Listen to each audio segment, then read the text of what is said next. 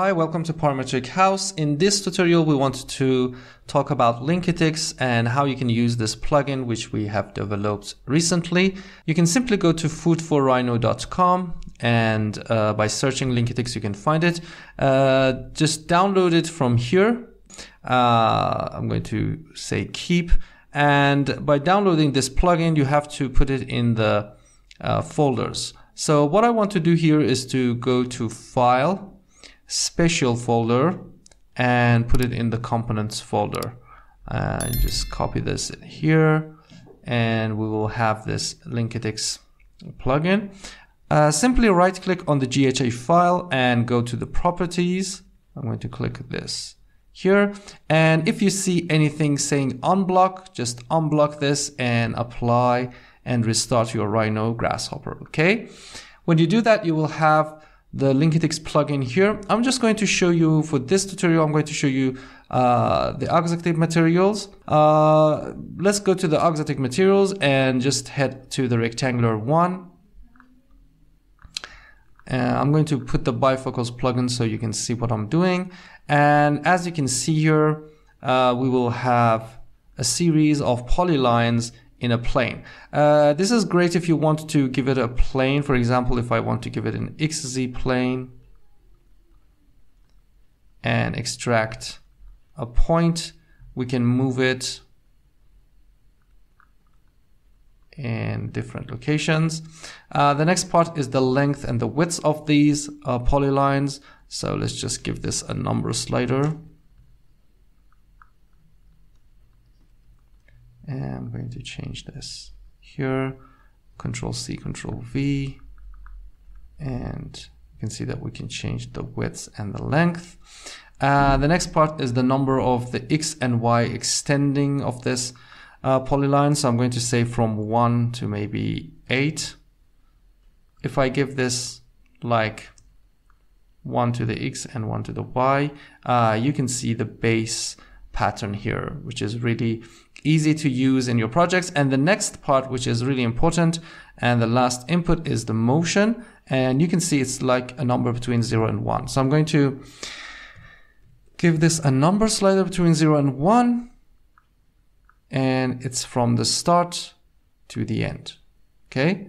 So let's just increase the number of these in the X and the Y direction and open and close them. Okay. If you want to see the actual polylines, you can simply go to the params menu and use a surface and connect it to these polylines. That's exactly what you can get uh, from this component and you can see these. These are actually rotating uh, along these corners and are connected and you can also decrease or increase the numbers and get the motion here. Uh, what if I want to make this uh, like a box? You can uh, copy paste this. This time I'm going to put this in a YZ plane. So let's just give this a YZ plane. Use the same origin. Give it to this plane. And you can see by changing this, it's actually connecting. Again, we can connect that to a plane.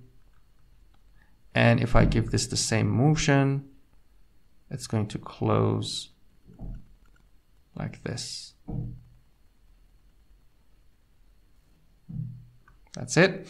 Uh, you can also make it a box if you want to. Again, we have to make a plane for here and here. Uh, so what I want to do is to make a mirror. So I'm going to say MIR, this icon, or you can find it here in the transform and in the Euclidean. Again, I'm going to say xz plane. And what we want to do here is to actually put this point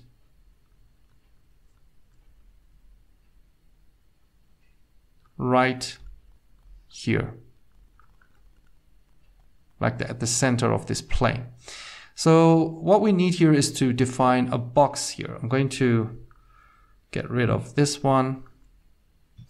Uh, we can go to the surface and find a bounding box for example, the bounding box of these polylines. Uh, right click and use the union box because we want the unified box here. Uh, then I'm going to go and use the area of this and use that as the centroid. Okay.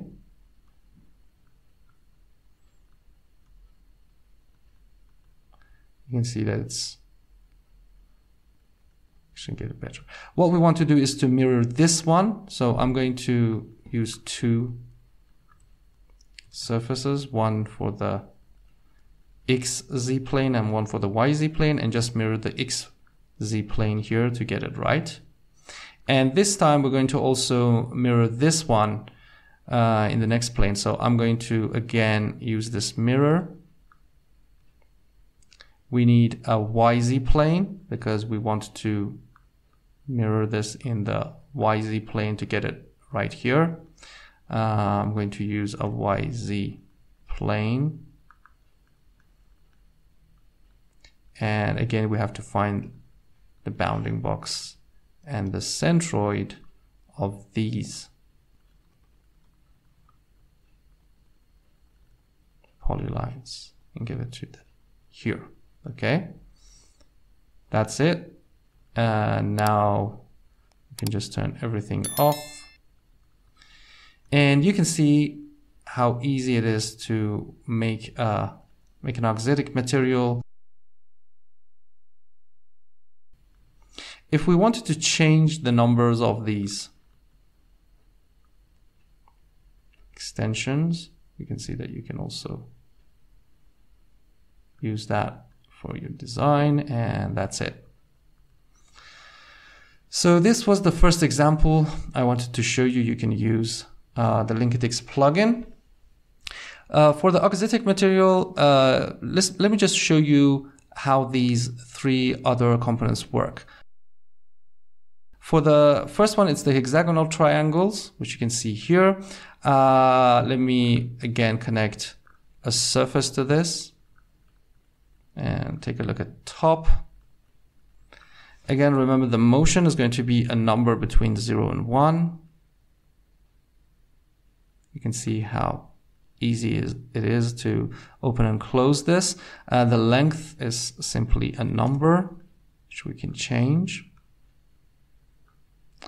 And there is a number in X and Y extension. So if I just give this 1 and 1, uh, this is the unit we have used.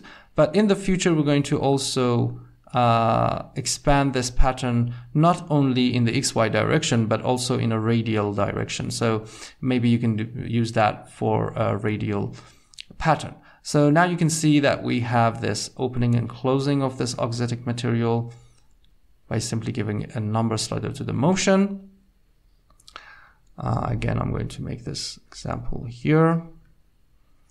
And uh, the rectangular second pattern we just give this an xz plane and extract it. Move it here so we can see the pattern. Again we can give a length and the width for the rectangles a number for the extension. This is the base pattern here. And if I give a motion,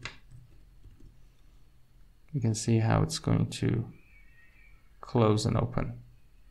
So if I just extend that, you can use that for your facade, for example, a, a parametric facade pattern. Let's just give this a surface. If it's like 0.5, it's actually uh, a complete checkerboard uh, pattern. And if I just change that, you can see it's going to change the direction here. It can be the openings and the panels by using a surface to the polylines. Uh, and the last one is the triangular pattern. Let's just give this a plane, whatever plane you want to use that. It's really easy. Uh, again, we can give this a number slider for the length. I'm just going to change the size.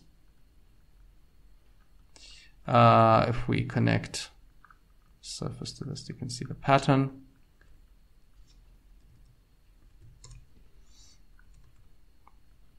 This is the base unit. And if I give it a motion,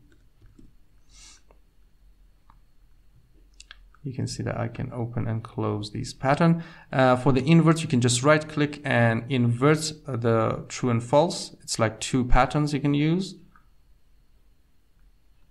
Uh, let me increase the numbers here. So if I just put it to true and false, we can get two patterns here.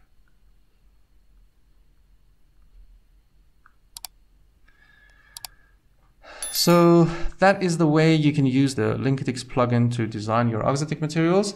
Thanks for watching. See you next time. Bye.